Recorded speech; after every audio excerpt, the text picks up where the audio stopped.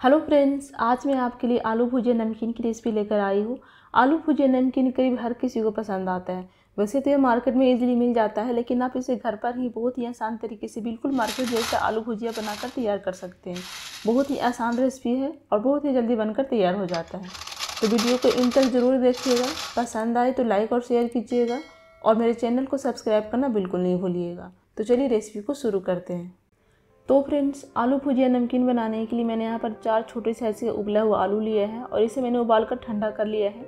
अब हम इसको ग्रेट करेंगे। तो इसे हमें बिल्कुल बारीक वाले ग्रेटर से ग्रेट करना है। मोटे वाला या मीडियम वाले से नहीं, ताकि इसमें एक भी मोटे टुकड़े ना रहे। वेट में देखा जाए तो डेढ़ सौ ग्राम के लगभग में आलू है और उबाल कर पहले आलू को अच्छे से ठंडा कर लेना है, इसके बाद ही यूज़ करना है नमकीन बनाने के लिए। तो अब देख सकते हैं, मैं दिखाती हूँ आपको। ये देखिए, कितना बारीक सा मैंने इसको ग्रेट कर लिया है। बाकी के दोनों आलू को भी इसी तरीके से हम ग्रेट कर लेंगे। तो आलू हमारे ग्रेट हो चुके हैं, अब हम इसमें मसाले मिलाएँगे तो मैंने यहाँ पर लिया आधा छोटी चम्मच हल्दी का पाउडर। आधा छोटी चम्मच हम इसमें ऐड कर देंगे धनिया का पाउडर। आधा छोटी चम्मच लाल मिर्ची का पाउडर। लाल मिर्च की क्वांटिटी आप यहाँ पर अपने अकॉर्डिंग कम या ज़्यादा कर सकते हैं। इसके बाद मैं इसमें डाल रही हूँ आधा छोटी चम्मच काली मिर्ची का पाउडर। आधा छोटी चम्मच हम इसमें ऐड कर देंगे चाट मसाला। नमक डालेंगे हम स्वाद अनुसार, मैंने आधा छोटी चम्मच नमक भी लिया है। और दो तीन पिंच हिंग डाल देंगे। इससे बहुत ही अच्छा फ्लेवर आएगा नमकीन में तो ज़रूर डालिएगा। और अब मैं इसे डाल रही हूँ आधा नींबू। नींबू डालने से बिल्कुल चटपटा टेस्ट आता है, या फिर आप चाहे तो साइट्रिक एसिड मिला सकते हैं। वैसे नींबू हर घर में इजीली अवेलेबल होता है तो आप नींबू यूज़ कर सकते हैं। तो आप यहाँ पर एक चम्मच नींबू का जूस इसमें ऐड कर दीजिए। और अब हम सभी मसालों को अच्छे से मिला लेंगे आलू के साथ। और घर पर नमकीन बनाने का फ़ायदा ये है कि आप इसमें कोई भी मसाले मिला सकते हैं जो आपको पसंद हो। और ये देखिए, मैंने आलू और मसालों को अच्छे से मिक्स कर दिया है।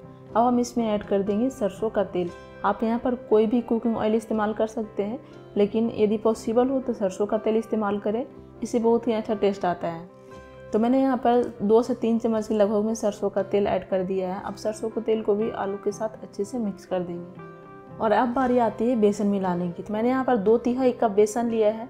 बेसन आपको इसमें इतना लेना है जिससे कि आलू में एक अच्छा सा बाइंडिंग आ जाए। तो थोड़ा थोड़ा करके बेसन इसमें ऐड करते जाइए और इसको अच्छे से मिक्स करते जाइए। इसमें आपको बेसन तब तक मिलाना है जब तक इसमें एक अच्छा सा बाइंडिंग ना आ जाए। तो डेढ़ सौ ग्राम हमने आलू का इस्तेमाल किया है तो डेढ़ सौ ग्राम के लगभग में इसमें बेसन यूज़ हो जाएगा। तो थोड़ा थोड़ा इसी तरीके से बेसन को मिक्स करते जाइए। एक बार में बहुत ज़्यादा बेसन नहीं मिलाना है, क्योंकि डो को हमें सॉफ्ट रखना है। तो ये देखिए, दो तिहाई कप मैंने जो बेसन लिया था वो यूज़ हो गया है फिर से मैंने इतना बेसन लिया है इसमें। तो ये बेसन भी मैंने इसमें ऐड कर दिया और इसको भी हम अच्छे से मिक्स कर देंगे। तो मैंने करीब एक कप के लगभग में बेसन इसमें इस्तेमाल कर लिया, यानी कि डेढ़ सौ ग्राम के लगभग में। आप देख सकते हैं, डो की तरह बन गया, इसमें अच्छी सी बाइंडिंग आ गई है। थोड़ा सा चिपचिपा लग रहा है तो इसमें हम एक चम्मच कुकिंग ऑयल ऐड कर देंगे और इसको अच्छे से चिकना कर लेंगे। फिर ये बिल्कुल भी स्टिकी नहीं होगा। ये देखिए। तो यहाँ पर आपको ये भी ध्यान रखना है कि बेसन का जो मिक्सर होगा वो बहुत ज़्यादा टाइट डो नहीं होना चाहिए सॉफ्ट होना चाहिए। तो आलू भुजिया नमकीन बनाने के लिए मैंने यहाँ पर मशीन का इस्तेमाल किया तो जो पतली वाली जाली आती है, वो हम मशीन में सेट कर देंगे।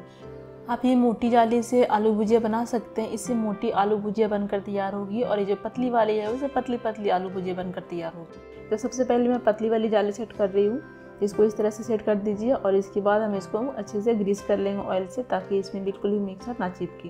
और अब हम अपने हाथों में भी थोड़ा सा ऑयल लगा लेंगे और इसके बाद हम थोड़ा थोड़ा मिक्सर उठाते जाएँगे और इसे हम मशीन में डाल देंगे। पूरा ऊपर तक नहीं भरना, ऊपर से थोड़ा सा खाली रखना है। तो इस तरह से सिलेंडर की तरह बना लीजिए और इसको इस तरह से मशीन में डालते जाइए।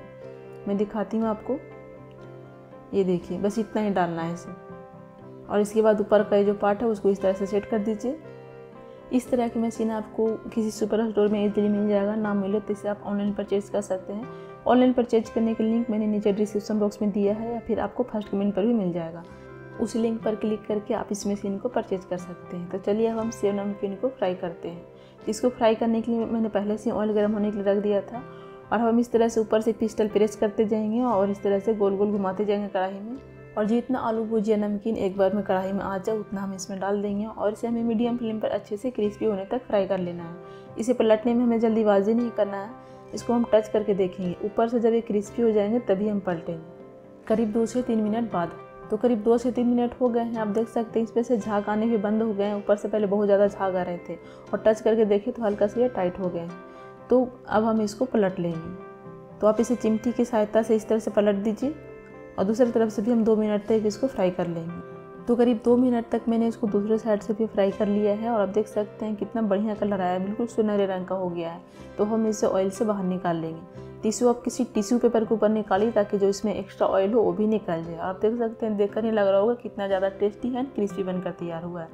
बाकी बचे हुए मिक्सर से भी आलू भुजिया हम सेम तरीके से बनाकर तैयार कर लेंगे। तो आप देख सकते हैं, इसे मैंने बारीक वाली जाली से बनाया है। बहुत ही ज़्यादा क्रिस्पी बनकर तैयार हुए हैं, आपको देखकर ही लग रहा होगा कितना ईजिली टूट रहे हैं। इसे आप महीनों तक स्टोर करेंगे, बिल्कुल भी ख़राब नहीं होगा। ये देखिए, कितना ज़्यादा क्रिस्पी बनकर तैयार हुए हैं, बहुत ही ज़्यादा टेस्टी है। और इसे मैंने मोटी वाली जाली से बनाया है तो भी बहुत ही ज़्यादा क्रिस्पी है, मैं आपको तोड़ कर दिखाती हूँ। ये देखिए। बहुत ही ज़्यादा क्रिस्पी है और बहुत ही ज़्यादा स्वादिष्ट है। यकीन मानिए, आपको बाहर के नमकीन से कहीं ज़्यादा स्वादिष्ट लगेगा। आप एक बार इसे ज़रूर ट्राई कीजिएगा। मैं इसके ऊपर थोड़ा सा फ्राई किए हुए करी पत्ते डाल रही हूँ। इससे नमकीन में बहुत ही स्वाद आता है। ये ऑप्शनल है, आप चाहें तो स्किप कर सकते हैं।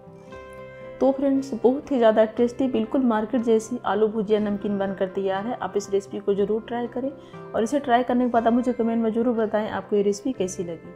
यदि आपकी मेरी आज की ये रेसिपी ये वीडियो पसंद आई हो तो इसे लाइक करें, अपनी फैमिली और फ्रेंड के साथ शेयर करें और मेरे चैनल को सब्सक्राइब करना बिल्कुल ना भूलें।